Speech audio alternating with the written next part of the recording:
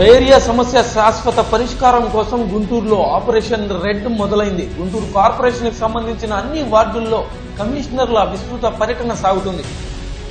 క్షేత్రస్థాయిలో అధికారులు పరిశీలన చేస్తున్నారు. గుంటూరు ప్రధాన మంచినీటి శుద్ధి కేంద్రంను గుంటూరు తూర్పు ఎమ్మెల్యే మొహమ్మద్ ముస్తఫా ఆకస్మిక తనిఖీలు చేశారు.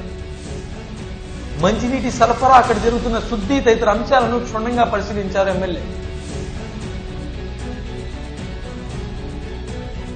ఎమ్మెల్యే మహమ్మద్ ముస్తఫా ఆకస్మిక తనిఖీలతో అధికారులు పరుగులు తీశారు. Senior engineer divisional engineer assistant ఇంజనీర్ల ఆధ్వర్యంలో తనిఖీలు చేశారు. మంచినీటి శుద్ధిలో ఏదైనా లోపం ఉందా అన్న సందేహంతో ఈ తనిఖీలు జరిగాయి. దాదాపు రెండు గంటల పాటు నీటి శుద్ధి కేంద్రంలో పరిశీలన చేశారు అధికారులు.